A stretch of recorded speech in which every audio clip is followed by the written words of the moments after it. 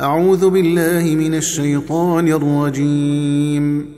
وهذا كتاب أنزلناه مبارك فاتبعوه واتقوا لعلكم ترحمون.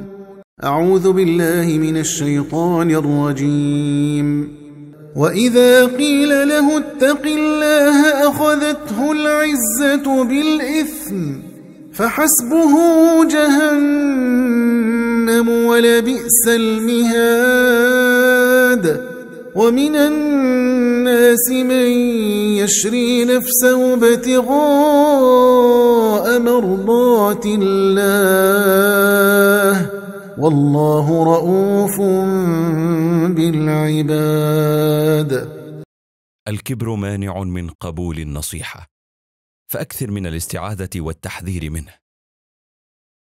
كن ممن باع نفسه ووقته ابتغاء مرضات الله تعالى وطمعا في جنته.